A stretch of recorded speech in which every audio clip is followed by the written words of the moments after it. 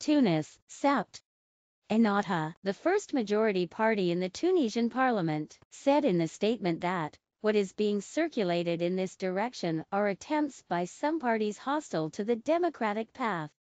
Ennahda insisted that the dangerous economic, financial, social and health situation the country is going through necessitates speeding up the formation of a legitimate government that will gain the confidence of Parliament and place among its priorities the implementation of a rescue program able to recover the economy, respects Tunisia's international commitments and strengthens its credibility. End item.